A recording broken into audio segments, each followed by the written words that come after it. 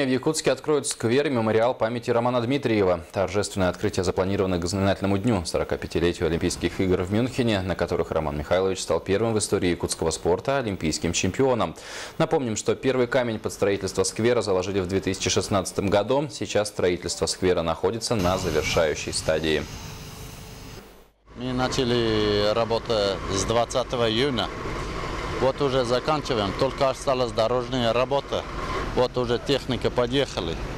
Ну, завтра уже асфальт готово будет.